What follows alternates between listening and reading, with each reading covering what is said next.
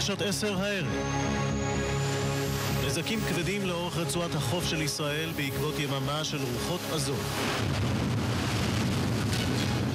שלג ברמת הגולן ובגליל העליון. אני מקווה שעוד יומיים האתר יהיה פתוח לגלישה.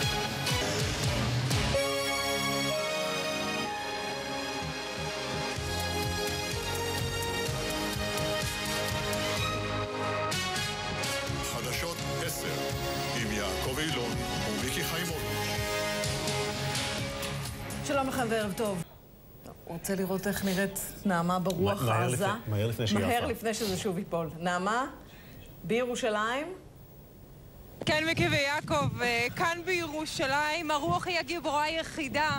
אה, רוחות דרומיות מערביות בעוצמה של 50 עד 70 קילומטרים בשעה עם משובים של 100 קילומטרים.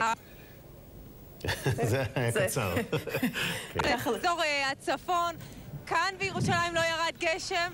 ביממה האחרונה הירושלמים נשארו כמובן מאוכזבים ובעיקר מאוד יבשים, אבל הרוח הדרומית-מערבית הביאה איתה הרבה מאוד חול, הרבה מאוד אבק.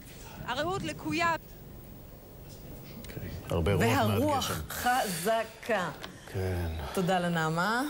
אנחנו נעשה מאמצים עדיין לחזור אליה בהמשך. אבל לקפוץ על השלג בינתיים. כן, אל נראה את השלג בגולן. הכתבה של רובי אמרשלג.